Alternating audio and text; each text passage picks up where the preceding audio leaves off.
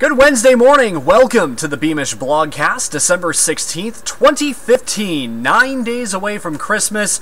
Certainly feeling the part this morning. 28 at the airport. Fifth freeze of the season for the Cold Pueblo, and the first hard freeze.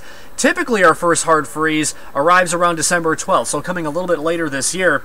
But the 28 this morning is the coldest reading we've had since December 27th of last year.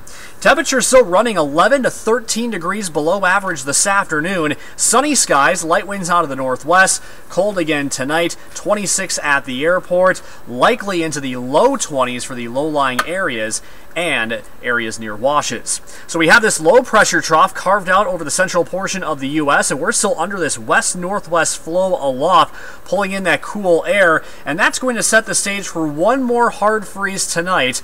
For that reason, hard freeze warning in effect. Metro Tucson, the Tohono Nation, and the southern half of Pinal County. This starts up at midnight through 8 a.m. on your Thursday. Remember the four P's before heading off to bed tonight.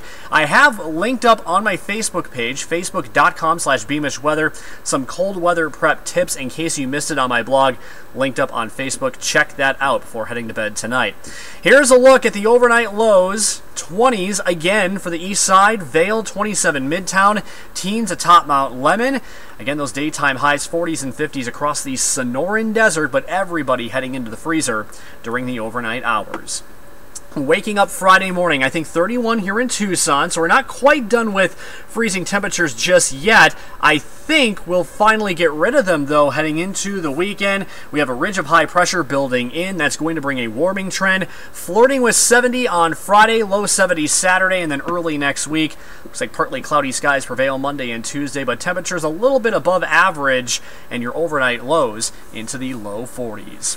Thanks for logging on. I'll catch you on the TV side today for News 4 Tucson at noon.